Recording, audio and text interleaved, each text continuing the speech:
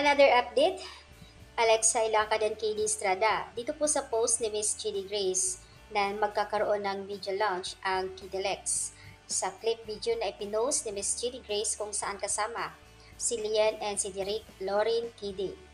Kung makikita nyo po sa clip video na ipinost ni Ma'am Chidi Grace, grabe napaka-sweet talaga ni Derek Lauren na parang tunay na anak si Kidelex. May pahalik pa siya sa buhok ni Alexa.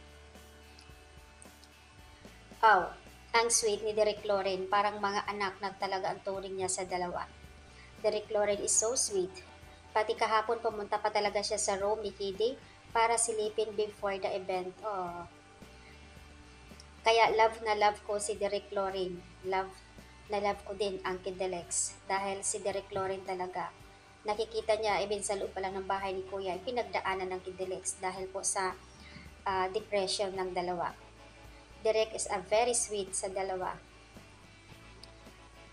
Si Lian at si Lex na parang magkapatid lang ang sweet naman ni Chidi. Grabe.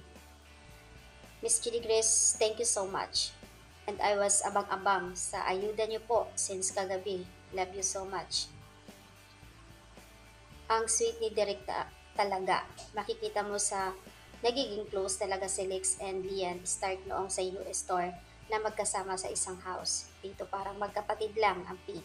Nakakatuwa lang dahil talaga dito si Derek Lauren may pahalik pa siya sa buhok ni Alexa.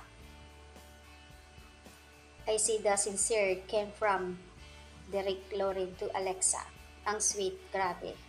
Proud ako sa inyo, kaya love ko si Derek Lauren dahil mahal niya ang Kidelex.